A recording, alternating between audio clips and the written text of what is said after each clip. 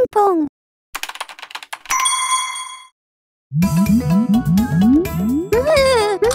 何をうなっとるんや？あ、あかりちゃん。いやー、実はこの問題がわからなくて。なんや勉強してたんか。どの問題や？これなんですけど。なになに以下の対義語を述べよ。生きろ。そなたは美しい。難しすぎ。いや、こんなん知らんがな。